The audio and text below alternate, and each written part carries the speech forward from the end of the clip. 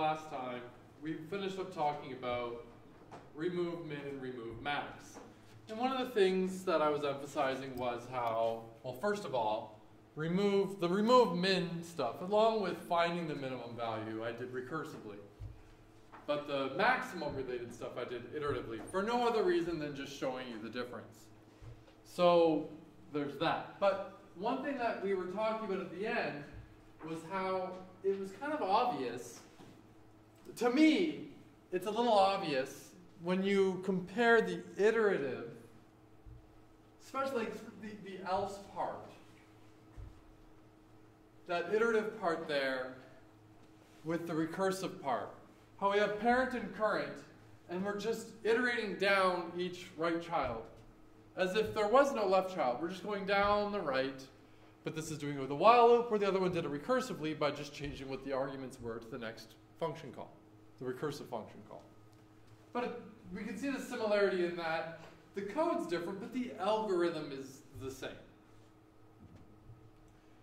So when talking about the remove min, remove max, one thing we were aware of was, okay, if we're removing the min or the max, and it's a, a leaf node, it's easy peasy. There's nothing special that we have to do. You just remove it. You don't need, to, there's no left or right subtree to manage. But it's possible with a remove min or remove max that it's an internal node. Now, whenever we're removing the min or max, it's never possible. Think about what I'm going to say. I'm going to ask you why this is true. It's never possible for the element you want to remove to have both a left and right child. Why?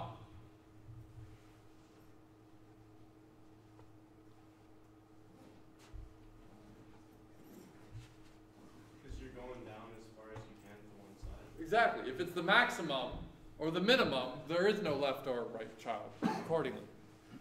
So there can only ever be one child if it exists. And then we saw there was that special case of the root, which really wasn't a special case because it's still just an internal node. But the trick there was okay, if you're removing an element that has a child node, and I don't care if it's the left or the right one, you just basically re you replace the, the node you're removing with the child node. And then everything's fine. Because if I have a situation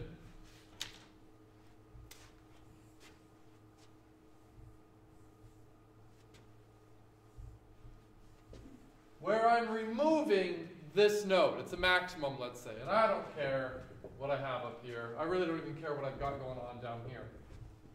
I'm in this kind of a situation where this is the node I want. Here's current, and here's parent. This is the situation I'm removing maximum.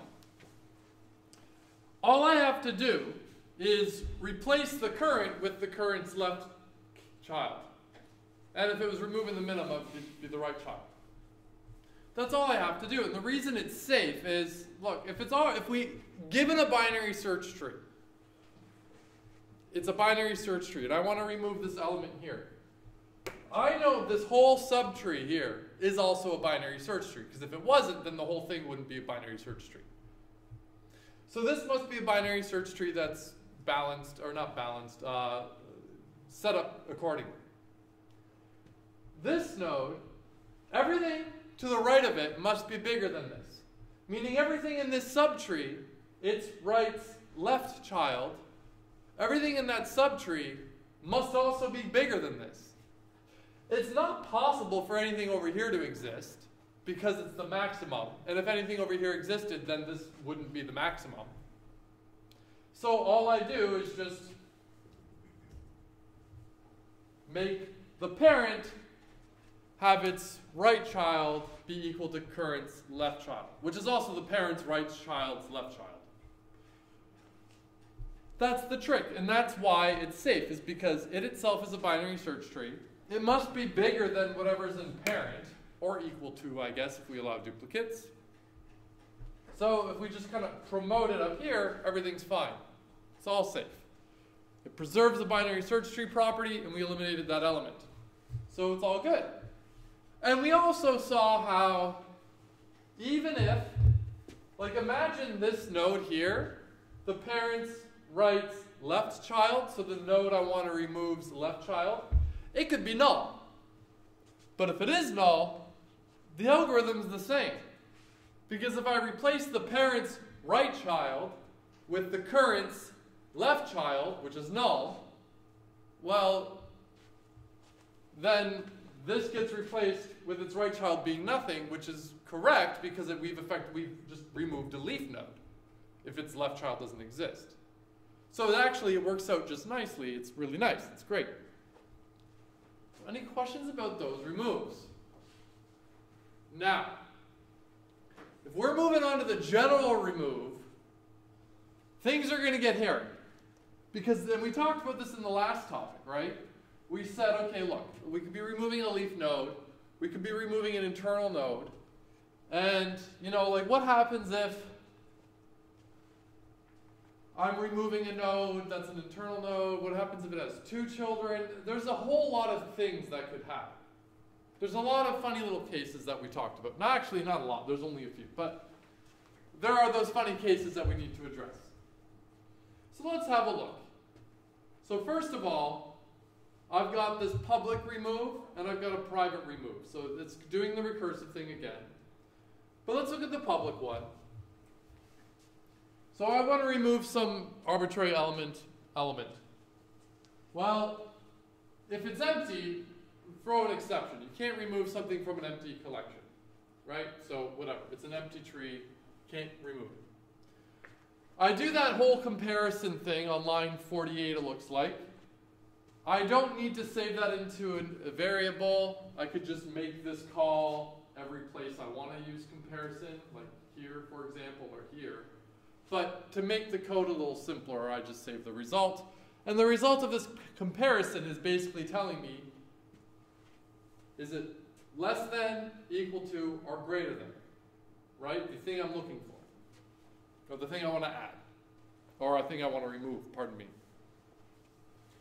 So if comparison is zero, that means the elements are equal. And if the elements are equal, then I want to remove in this particular example, the root. Because this is the public one and it's always operating on the root. So if I want to remove the root, what do I do? Well, I get the data from the root, I save it, to be returned later. And then I need to find my replacement node. Let's leave it at that for right now. I magically find the replacement node. And I just set that to root. If comparison is greater than, well, I call remove on the left, and if it's less than, I call it on the right. But this is calling the recursive remove, of course. So we need to go look at the private recursive one. Any questions there? Return element. Is return element even used? It's not. I'm not sure what I have return element here for because it just returns a boolean. I'll have a look at that. Okay, the public remove method similar to public remove min remove max. It checks if the root, otherwise it checks which subtree to continue search down and calls recursive private remove. Okay, let's look at the private one. All right, remove. Well, it takes the element I'm looking for, a node parent, and a node current. This is the same idea as the remove min, remove max. We'll, we'll give each method call a reference to the node I'm currently looking at, its parent, and the element that I want to remove, of course. And that's why when we go look at the, the calls up here, root is the parent because, well, the first time we call it, the root will be the parent. Unless, of course, the root is the thing I'm looking for, which is addressed in this particular condition. All right. If current is null, no such element exception. If I ever get down, if I'm looking for an element, actually, let's ignore that base case for one moment here. Okay, otherwise, okay, ignoring the base case, we do the comparison, if comparison is the thing I'm looking for, um, and parents data compared to is greater than zero, set left, set right of this replacement node thing. Okay, we'll come back to this as well. Otherwise, if it's greater than, we go to the left. If it's less than, we go to the right. This is doing a binary search for the element we're looking for to remove.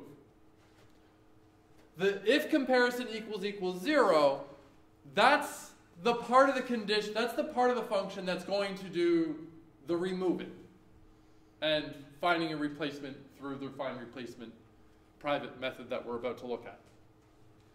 But the base case up there, the if current is null, and then this go left, go right, this is just a binary search tree. If I am ever, like, okay, I'm going to just start drawing some arbitrary tree.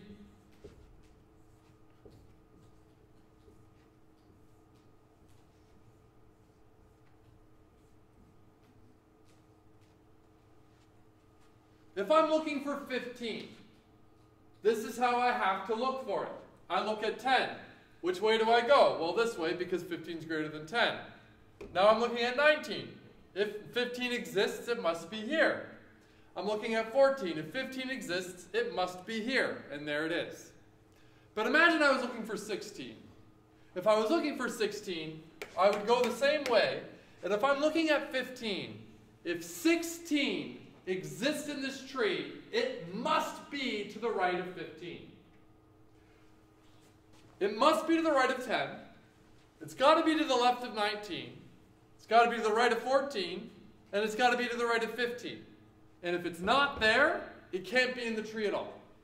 Because if it existed, it must have been there. It can't be anywhere else based on how this tree is built. Do you agree with that statement? That's what's going on in the first, in, on that condition up there. If I'm looking for 15 or 16 and current is ever null, that means it must not be there. Okay, great. Now let's look at the, so the else if where comparison is greater than, and then the final else. This is just continuing the binary search. This shouldn't be a problem. This is the part that's perhaps a little funky. Let's see what's going to happen. All right, if comparison is zero, all right, so if, if I'm looking at a node that contains the element I want to remove. So let's say I'm looking at, uh,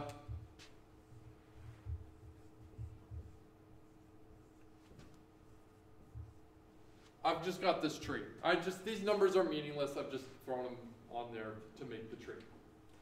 Let's say I want to remove 19. All right?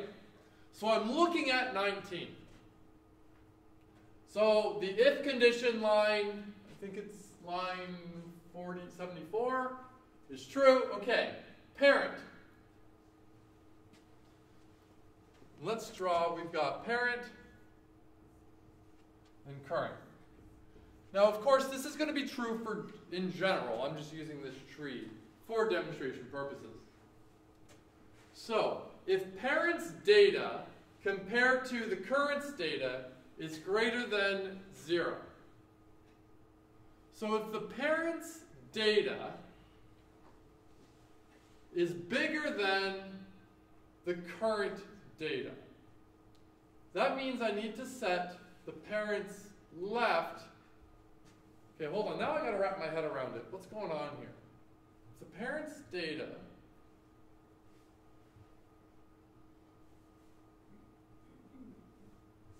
parent, hmm. Give me a moment while I try to wrap my head around the code I wrote months ago. That's not commented at all.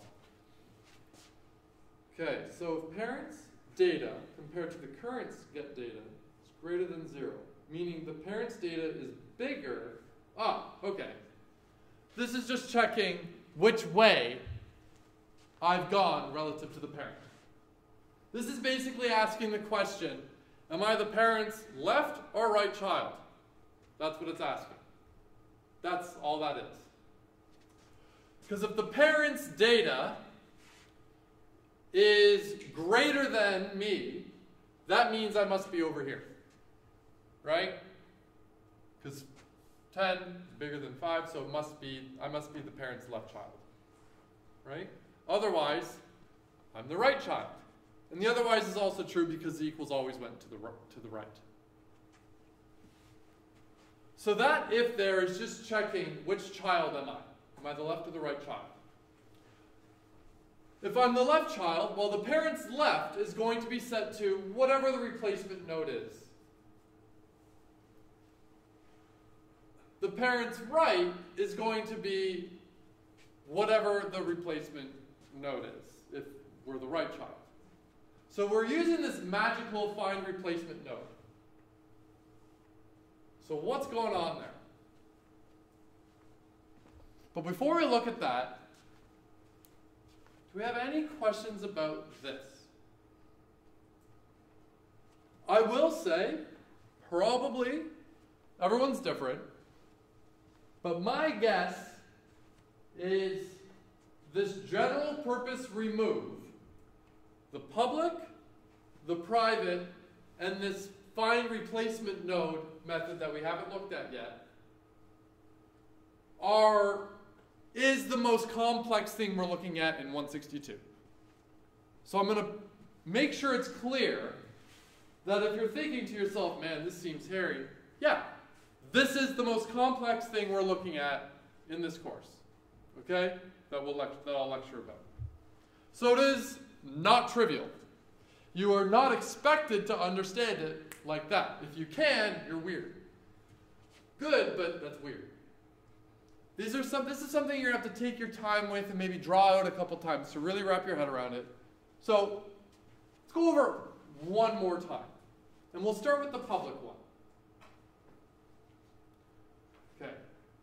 I don't think return element is necessary. In fact, I'm going to go double check the code because I think I can eliminate that and update this right here. But anyways, if the tree is empty, you can't remove anything from it. Done. Easy. We do the comparison. If it's the thing we're looking for, that means I want to remove the root node. If I want to remove the root node, all I'm going to do is magically call this function find replacement node and set that to the root. Presumably, this find replacement node is also updating the replacement, the, the node that's being returned, left and right children accordingly. But that's checking the root condition. If it's greater than, well, it must be to the left. And if it's less than, it must be to the right. And these are the private calls. Here. So here's the private recursive one. If we are ever looking for something to remove, and we ever find a null reference variable, variable, like we said here, if I was looking for 16, 16 couldn't be anywhere else in this tree. If it exists, it must be here. And if we ever get to a, if we ever get to that case where it's null, it must, then we conclude it's not there, so we can't remove it. We raise that exception. We throw the exception. Uh, it says empty tree. That shouldn't say empty tree. That should say not there. Geesh, look at all these bugs in my code. So that's a bad message for the exception. It shouldn't say empty tree. It should say element not there. No such, eh, probably no message would be fine, no such element exception. Otherwise, we do the comparison. If we find what we're looking for, we found the node containing the data we want to remove. If we are the left or right child of the parent, replace the parent's left or right child with the proper replacement node that's found with the magic find replacement node method. Otherwise, I continue searching for the thing I want to remove down the left or right subtrees accordingly. Okay? Now let's look at this find replacement node. There is a lot. This is, a lot of this is comments, but let's look at the, the header for a second, or the, the doc, the doc. So uh, which node should be used to replace a node being removed? there are a few conditions. Both left and right children are null. Here, simply remove the node. If you're looking at a node that has no children, it's a leaf node. Easy peasy. If left child is not null, but the right child is null, replace the to remove node with the left child. Okay? So if the left child is not null, but the right child is null, you just promote the left child. It's just like the remove min, remove max thing. Left child is null, but right child is not null, replace with the right child. If both left and right children are not null, replace the thing we want to remove with the in order successor, which is the right subtree's leftmost node. When looking at any binary search tree,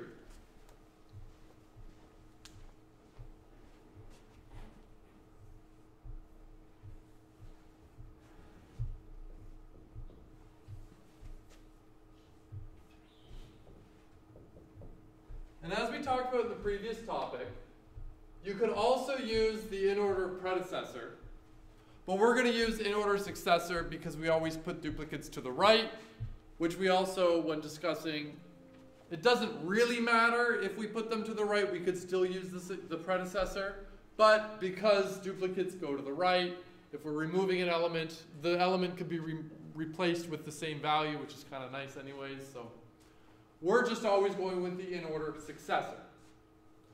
Why does selecting the in-order successor work?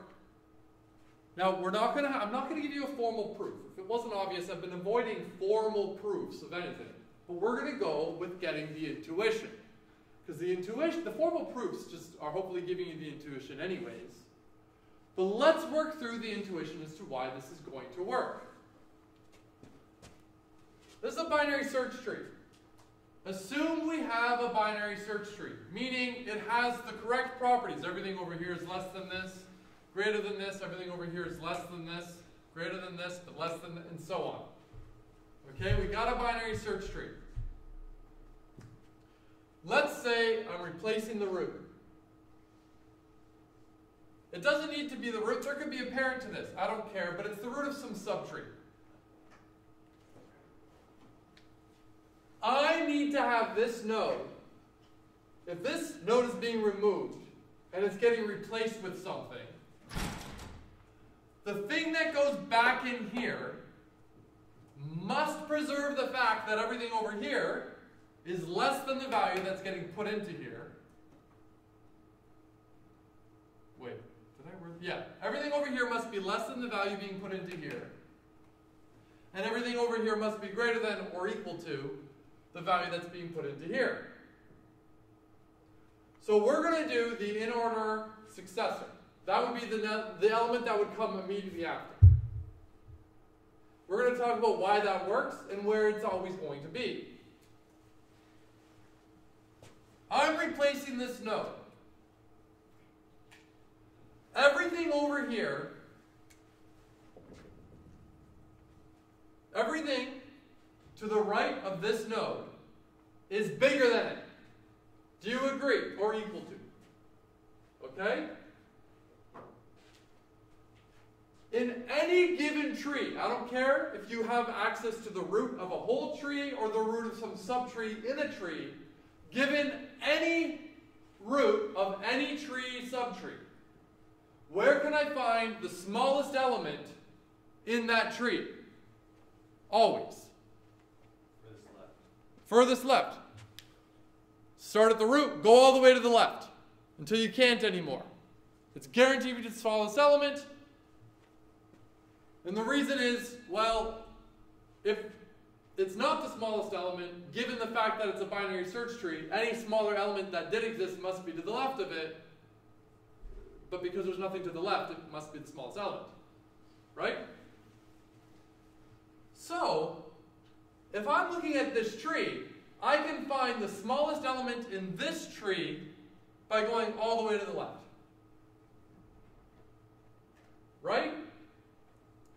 So, this magic node that I eventually get to, let's say is the smallest element in this subtree. Everything, we're, we're guaranteed that the value in here must be greater than all the elements over here. Why? To the right of the root. Yeah, because if this is bigger than this, and this is bigger than this, this is bigger than this. Because that's how numbers work. And this must be smaller than everything else, excluding this node from this subtree. This node, if it's the smallest node in this whole subtree, there's no value in this whole tree that's less than this, right? So, if I take this value, put it here, I'm guaranteed that that value is bigger than everything in the left subtree, because it must be, because it came from the right subtree. And it's smaller than everything in the right subtree, because, well, we just eliminated it. Sure, there might be a duplicate in there. But if we remove this and put it up here, it must be greater or less than or equal to everything in this subtree, because we found the smallest element in this subtree. This is where I'm seeing some people go, hmm. If this is x,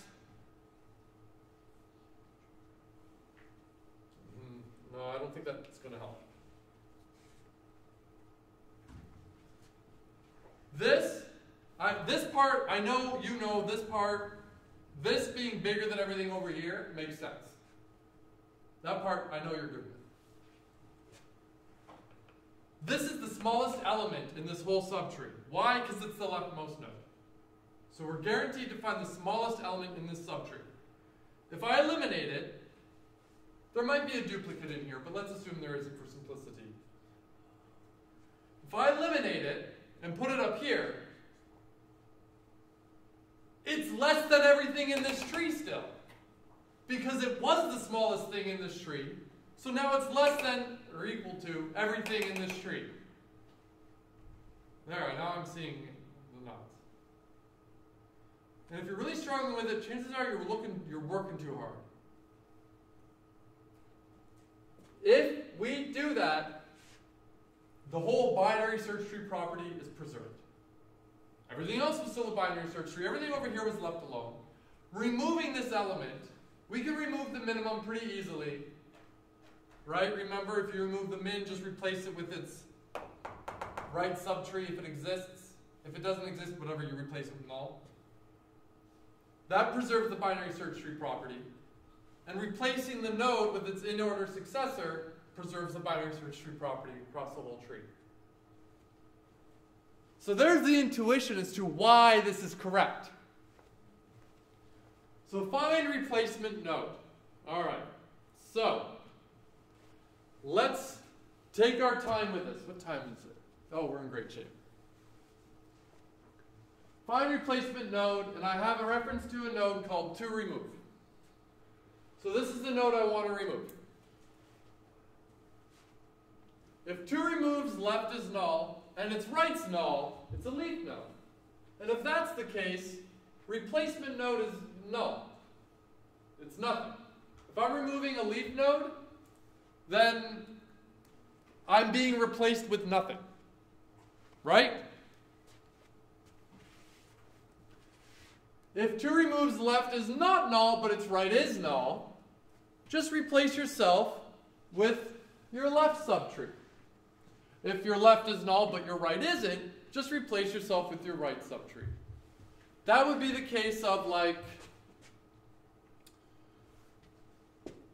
If I'm eliminating 14, its left subtree doesn't exist, but its right subtree does. And this tree might have, who cares how many things?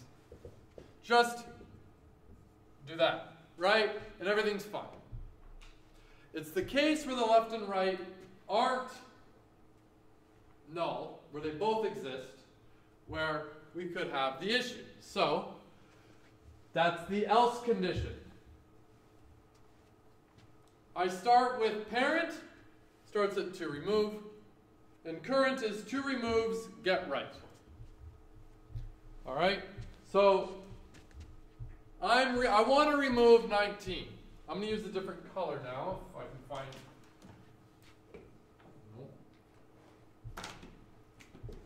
Nice. I'm leaving this as P and C because it was the parent and current from the recursive remove. But now I'm going to start this at parent because this is now the find replacement nodes method's parent. So I have a parent reference variable references to remove and current references to removes get right. So let's all agree if I replace the 19 with the 20, that's what we want to do and we're all happy if that's ha- what's going to happen. Because this is the leftmost node in this subtree. Current. That's where we're starting. Okay? I say, while currents left is not null, parent equals current, current equals current dot get left. This is just iterating down the left subtree. This, if you look at the recursive find max, or sorry, the, the iterative find max, you're going to see this loop, except instead of going to the left, we're going to the right. That's what this is, except it's not recursive, or sorry, it's, it's an iterative, but going to the left. So this is iteratively going all the way down until we find this tree's leftmost node. And that's what the comment there is, uh, find the in-order successor. Okay? So parent is current.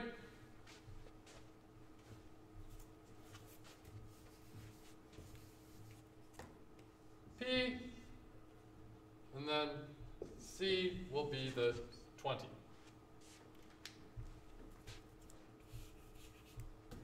Okay. We finished that while loop. So I create a reference variable called replacement node and set it to current. Okay? Rn also references the 20. Replacement node, set your left to, to removes. Which one's to remove? That's this one. To remove, that was the parameter for the function or the method that didn't change. To remove, that's the node we want to remove. We're removing the 19. To remove is 19. Right? So, okay, replacement node is current. Replacement node, set left to to removes, get left. So replacement node, your left is to removes left. So that's this node's left subtree. Okay, right. We want to move the 20 here, and the 20's left subtree should be the node I want to remove's left subtree. Right? Cool. That should be pretty good. Then what do we have here? What does this comment say? Update replacement nodes right if necessary. If the in-order successor of, I don't know if it's getting cut off. Yeah. The in-order successor of to remove is its immediate right, no update is needed. Otherwise, replacement node's parent's left is set to the replacement node's right, and the replacement node's right is set to the to removes right. What does that mean? Okay, so first, up the replacement node. If the in-order successor happens to be to removes immediate right, that would be like saying, I want to remove 19. It's possible that 19's right is the smallest element in its subtree. Meaning that like if the 20 didn't exist, if I want to remove this, or to remove, this is the element I want to remove, I don't need to update 21's right subtree. 21, if 21 was going here, 21's left subtree would be to removes left subtree still. That's got to be set. But because it has no left subtree that might get obliterated in updating it, all I need to do, like, I don't need to update its right subtree. It's already, it's there. I'm happy. But if I draw, we're running out of space here. If I draw the 20 back, and let's say there's like a, a 22. No, that can't work. A 20.5. Okay? Because it's possible that the node I want to replace it with here has a right subtree. It could be null. But that's what this is addressing here. It's if this is the smallest element, it must not have a left subtree. So I can replace, I can make this left subtree be the node I want to remove's left subtree. There's no issue there. But it's possible that the node I want to replace it with already has a right subtree. So I can't just say, hey, uh, 20, your right subtree is now the node I want to remove's right subtree, because what happens to the poor 20.5? So what do we do? Okay, so if 2 removed uh, get right is not equal to the replacement node. Okay, so that's the case of the root of the subtree. Parents set left. So in this case, parents is the 21. Set your left to the replacement node's right. Oh, this is just all. What is this doing? What is this effectively doing that we just looked at? This is just removing the minimum node. Set the parent of the minimum node's left to the minimum node's right child. Could be null. If it's not, if it is, it doesn't matter. You just set the parent of the minimum node left to be the right child of the minimum node. That's all that's doing. So here, remember, 20.5 must be less than 21. So the whole rejigging here is this becomes a 20. The 20's left is set to 19's left. We already covered that. It's not the immediate one. So it's not 21 that's being replaced. So we are saying 21, your left subtree is the node, the replacement node's right subtree, which that's just removing the minimum node from a tree. That's the algorithm that we've already looked at. Go all the way to the left and replace it with its right subtree, which could be null. So 21's left becomes that, and then 20's right becomes the to removes right. And that's what the code should say. Replacement nodes right is to removes right. Yep, boom. There we go. I say it as if like trivial, right? Look, I know it's not. But once you take your time and work through this, it will be. But right now, the first time you see it, I'm not expecting you to understand it fully. That's ridiculous. But once you take your time to understand it, you will see that, yeah, it is actually quite nice and intuitive and clean. And as we, and isn't it also kind of interesting that like when we start writing more complex algorithms, we're at the point, maybe it wasn't obvious to you when we were doing it, hopefully it was more obvious when I pointed it out about what we were just doing right here. But as we're writing more complex algorithms, you will see parts of the more complex algorithms be straight up algorithms you've already used. This, like, you're just getting more experienced with coding, more experience with working with these algorithms that, yeah, you start to see like algorithms re-arise in solving bigger ones. It wasn't a method call in this particular example, which maybe it could have been, I don't know, but right? This was, oh, find the in-order successor, find the minimum node. Find the in-order successor, that's just find the minimum node. We know how to do that. We literally just wrote that code. How do you remove the minimum node? Oh, you remove it by replacing it with its right subtree. That's all that did. We already saw that. and then at the end, we remove, we return the replacement node. Obviously, this method has a side effect. Sure, it's returning the replacement node, but it's also messing up with the structure, it's, it's affecting the structure of this tree. So be aware of that.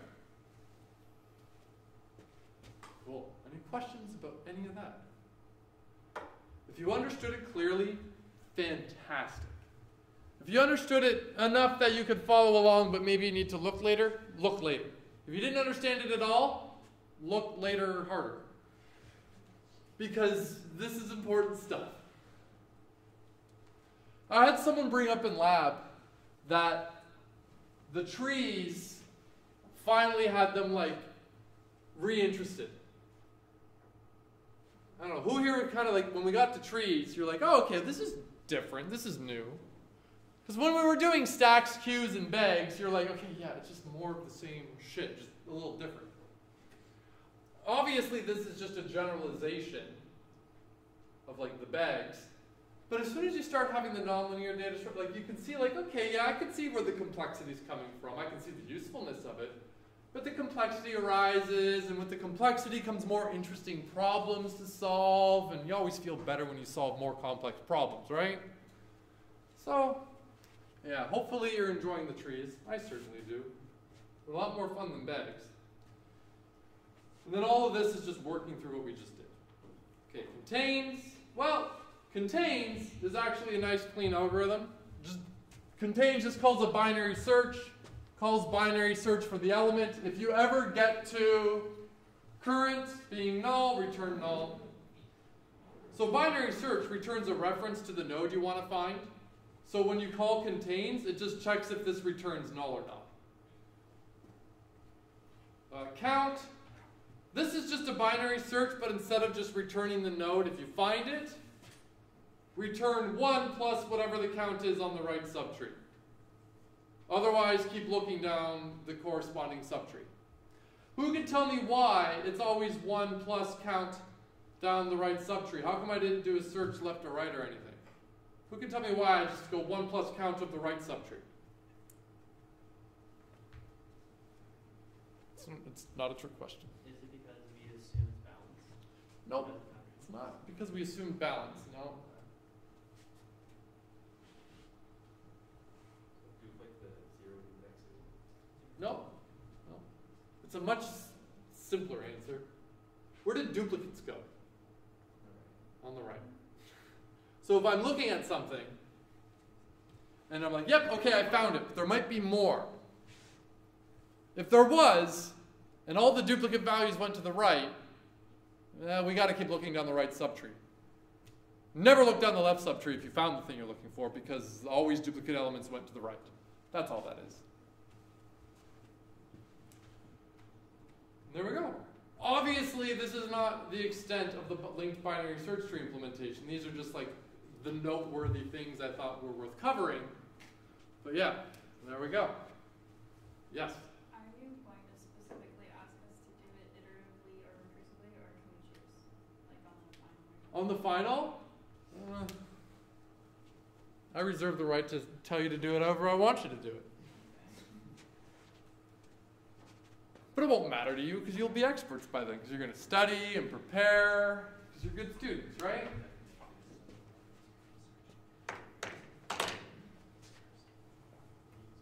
All right, to give you a sense of the rest of the course, well,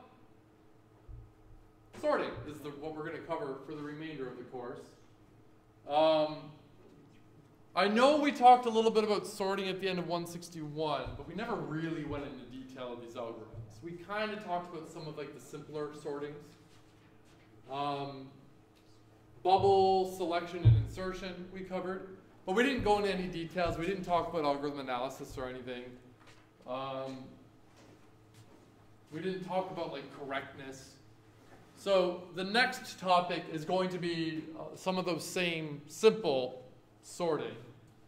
But then the sorting recursively, which is actually is not a great title because some of the sorts in there are not recursive, but whatever. Um, that's where we're going to see some actual like really clever sorting algorithms, but we'll cover those later. Anyways, that's it for today. Any last questions? Okey doke.